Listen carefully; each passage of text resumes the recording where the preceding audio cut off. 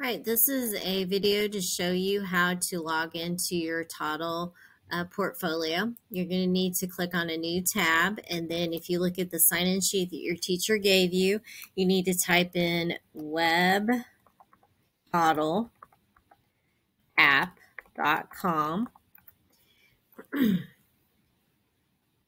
it should bring up the login information and you are a student so you click on student then you will need to enter the sign-in code that is on the page that your teacher gave you. You need to make sure you use capital letters, and if you're having troubles deciding if it's a zero or an O, capital O, talk to your teacher to help you figure that out. So this one is ST2BBDW3. Then you hit submit. And then this brings into my account and it will have the student name here. And then you will click on your teacher's name and you will go to your portfolio.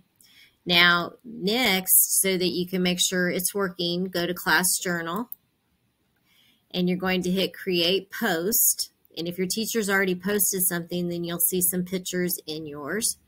You're going to hit create post and you're going to hit photo and then you're going to hit capture image.